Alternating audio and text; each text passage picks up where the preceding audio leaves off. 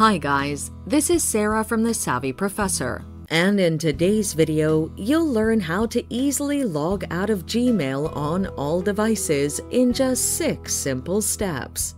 Keep watching until the end to find out how to do this and more. Step-by-step -step guide to log out of all devices on Gmail.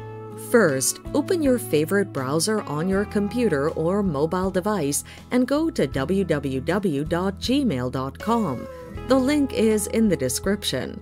Alternatively, you can use the Gmail app from your Chrome browser or mobile device.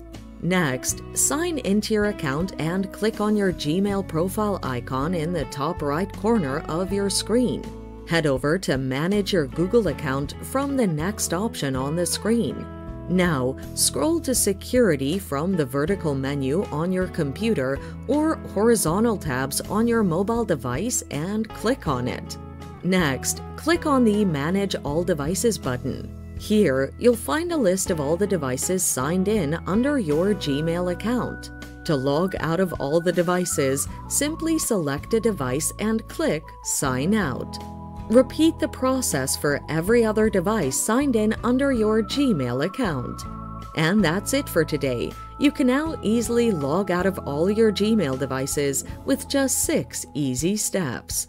Thanks for watching. Till next time.